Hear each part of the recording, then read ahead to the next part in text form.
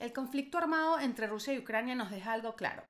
La ciberguerra ya no se trata sobre hackear los sitios web del gobierno, sino también de usar la inteligencia colectiva, las redes sociales y las comunicaciones para maniobrar, burlar, persuadir y dividir a tu oponente. Sobre eso hablamos hoy en Refresh.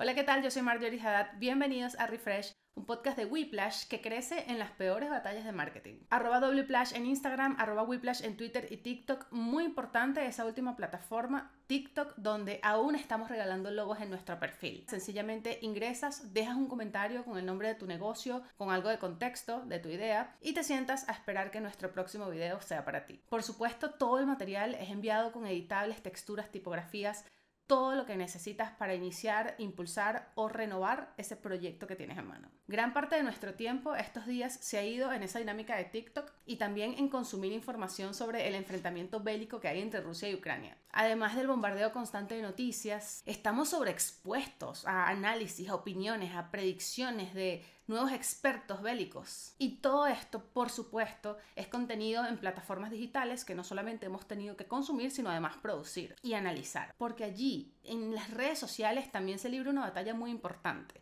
la de la narrativa. Quien controla los medios controla la opinión pública y con ello gran parte de los acontecimientos. Allí es donde Occidente y específicamente Estados Unidos parece que tiene cierta ventaja. Y eso queremos analizarlo hoy porque en lo político, bueno, queda claro la situación. Son muy pocos los que creen en las razones rusas para invadir. En la ONU hubo que 141 votos para condenarla y 5 a favor, de los cuales dos de ellos eran los mismos países invasores.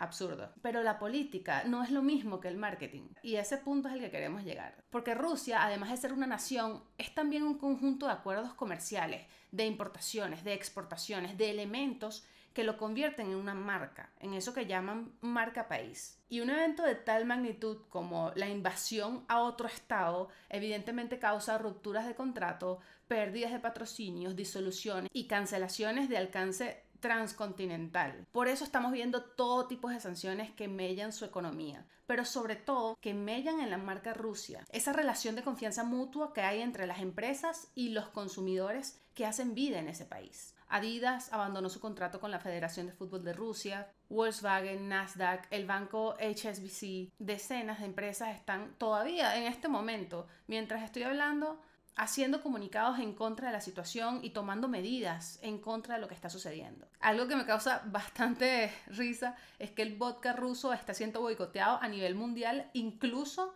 en marcas americanas que no tienen nada que ver. Y todo está pasando muy muy rápido. La gente ni siquiera se está tomando la delicadeza de investigar. El punto es que la lista es muy larga. Y hemos llegado a un punto donde quien no tome posición sobre el tema pasa a ser directamente un cómplice. Y eso también se traslada a las marcas y a las compañías. Por eso ni siquiera la FIFA puede mantenerse al margen. La FIFA, que es tan diplomática, que algunos incluso dirían que rosa en lo partidista en muchos casos. Estuve leyendo que ellos hicieron completo silencio en las condiciones laborales de los estadios de Qatar, por ejemplo. Hubo también silencio absoluto cuando ocurrió la invasión de Crimea, pero esta vez sencillamente no pudieron abstenerse. Tuvieron que ir más allá, nada más por mantenerse en línea con sus aliados de Occidente y con los fanáticos, que al final son en su mayoría personas conscientes que están en contra de la guerra. Porque sí, todo conflicto bélico se trata de dinero y de poder, pero en este caso también es sobre prestigio, sobre branding y sobre comunicaciones. Estamos ante un escenario donde no hay puntos medios. Y eso lo podemos ver en todo, no solamente en marcas que realmente logran cambios económicos dentro del país, sino en todo el ecosistema de ventas de consumo digital. Porque igual que la FIFA, grandes empresas tecnológicas han tenido que tomar parte en esta situación. Google, por ejemplo, deshabilitó los tráficos en tiempo real de Google Maps en Ucrania.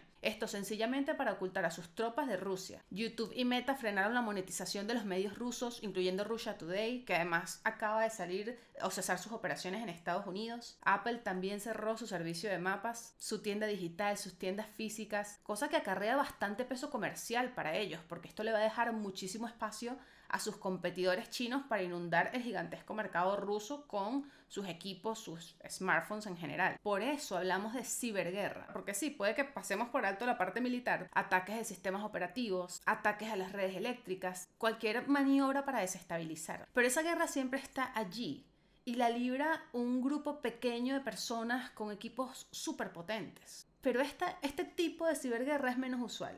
Es la que hacemos los consumidores, con los teléfonos, con laptops. Millones de personas en todo el mundo con equipos de modesta potencia. Por ejemplo, ante la ausencia casi total de medios libres en Rusia, precisamente para censurar a todo el país eh, con respecto a la narrativa de Occidente, Anonymous impulsó una campaña fenomenal usando Google Reviews, donde sencillamente buscas un restaurante en Rusia, cualquiera, lo ranqueas con 5 estrellas y luego agregas en el texto información relevante. Le dicen a la gente que el gobierno está mintiendo, le explican lo que pasa en Ucrania, eh, informan sobre maneras de conseguir la verdad, reseñas en restaurantes de Google siendo usadas como medio de guerrilla informativa para romper con la censura, porque realmente hay gente en Rusia que no tiene idea de lo que está pasando y que incluso no cree la magnitud de la situación. Esta mañana también leí en NBC que personas de todo el mundo están reservando habitaciones en Airbnb como forma para donar dinero a quienes siguen en Ucrania.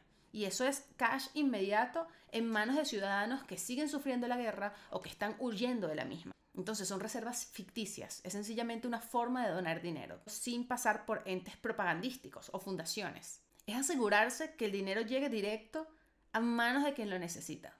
Este movimiento que va de gobiernos, empresas, marcas y consumidores nos posiciona de alguna forma en una versión renovada de la frase la historia la cuenta quien la gana o la historia la cuentan los vencedores. Porque antes la narrativa de la guerra se contaba luego de terminar. Ahora es información que fluye en tiempo real y se va contando en medio del proceso y por sus propios protagonistas, incluso en medios encriptados como Telegram o Discord. Si estudiamos la cuenta oficial de Ucrania, por ejemplo, incluso la de sus ministerios, ellos entendieron perfectamente que el marketing humano y viral puede mantener la atención global sobre el asedio que sufren. Aún con lo estresante y lamentable de la situación, hay que reconocer que se han lanzado unos buenos memes y están moviendo emocionalmente a una mayoría abrumadora de público joven. Y por el contrario, cuando evalúas las métricas de los escasos hashtags que se posicionan pro Rusia, porque sí aparecen de vez en cuando, notas un altísimo porcentaje de bots. Entonces, ya va, un momento. Justo después de grabar este episodio, apareció otro ejemplo de cómo los ataques en redes sociales existen sin importar el bando y no podía dejar de mencionarlo así sea con este parche. Subieron a Facebook y YouTube un video falso del presidente de Ucrania anunciando su rendición y pidiendo a las tropas que depongan sus armas. Obviamente, si ves el video te das cuenta que se ve un Zelensky extrañamente tieso e inmóvil. Se ve de hecho antinatural porque la cara tampoco coincide mucho con el cuerpo y su voz sonaba diferente a la de su objetivo. Pero estos son precisamente ataques que luego generan noticias desinformación, los medios dejándose llevar por el clickbait, pueden causar estragos dentro de un conflicto armado. Y son acciones de falsificación política como siempre han existido y como la hemos visto en los libros de historia. Solo que por primera vez no se trata de una carta, sino del uso de deepfake. Videos de inteligencia artificial de cambio de rostro, donde yo puedo subir un video mío hablando, pero le cambio el rostro para que sea el de Jennifer Aniston. Y lo curioso es que este tipo de acciones están generando alerta y nuevas regulaciones hacia las aplicaciones que trabajan con estas tecnologías. Entonces, no solo es un tema de quién encarna el papel de David y el de Goliat, es un tema de comunicación ingeniosa y real, brutalmente honesta, de cosas abstractas que unos tratan de ganar y de cosas concretas que mucha gente está perdiendo. Y esto, con todo el respeto que merece la situación, que sé que es lamentable y que ya lleva muchísimos fallecidos, es algo que como humanidad resulta súper interesante. Porque quizás estamos ante la mayor campaña de marketing descentralizado con conciencia social de la historia. Y quién sabe, ojalá estemos también ante una de esas extrañas situaciones donde la guerra no se gana con armas. Sígueme en Instagram, Twitter y TikTok, arroba Marjorie donde siempre comparto todo lo que aprendo trabajando. Este podcast puedes escucharlo en tu plataforma de audio favorita. Si te gustó el contenido, suscríbete al canal. Y cuéntame en los comentarios qué tema te interesa por estos días para hacerte una lectura marketera a la medida.